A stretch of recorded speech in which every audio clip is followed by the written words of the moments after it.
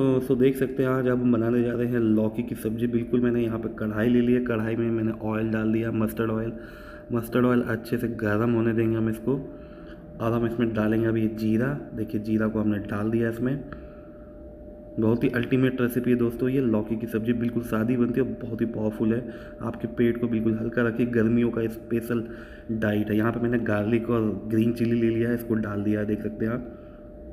Normal पाँच से छः कलियाँ गार्लिक की ले ली कट कर लिया अनियन सॉरी इसमें गार्लिक और मैंने हरी मिर्ची को काट करके डाल दिया है। अब हम यहाँ पे लौकी के पीसेस हैं, देखिए लौकी को मैंने दो छोटी छोटी प्योर लौकी थी, लंबी वाली, इसको काट लिया अच्छे से, और अब हम इसको अच्छे से वॉश कर लिया था।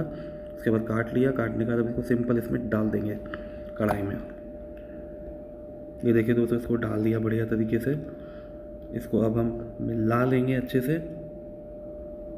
बिल्कुल बढ़िया तरीके से आप देख सकते हैं दोस्तों। अच्छे से हमने इसको मिला लिया दोस्तों।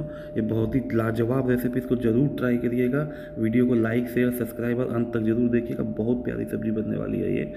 और इसको ज़्यादा से ज़्यादा प्लीज़ आप लोगों से रिक्वेस्ट है शेयर और शेयर करिए सब्सक्राइब करिए। चैनल को ऐसी लाजवाब और ज़बरदस्त वाली रेसिपीज़ मैं आपको इसमें देता रहता हूँ आपके चैनल में।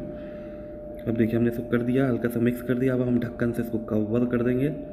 और गैस को एकदम मीडियम फ्लेम पे रख देंगे। चार से पाँच मिनट इसको पकने देंगे। हमने ढक्कन हटाया, बीच में इसको चलाया दोस्तों। इसमें हमने यहाँ पे खाली सॉल्ट डाला है ओनली सॉल्ट और कुछ भी नहीं डाला, आप देख सकते हैं। सॉल्ट आपको अपने स्वाद अनुसार डाल देना है इसमें।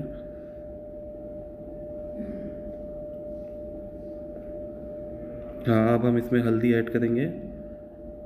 यहाँ पे हमने हल्दी डाल थोड़ा सा डाला है, स्वाद अनुसार हल्दी थोड़ा सा ऐड कर देंगे। और इसमें कुछ भी मसाले नहीं पड़ेंगे दोस्तों, इसको अच्छे से मिक्स कर लीजिए।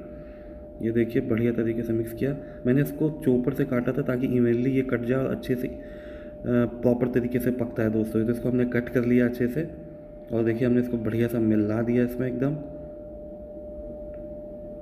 इसमें ग्रीन चिली और गार्लिक का जो फ्लेवर आता है ना दोस्तों, बहुत ही अल्टीमेट आता है। लौकी का अपना खुद का टेस्ट होता है।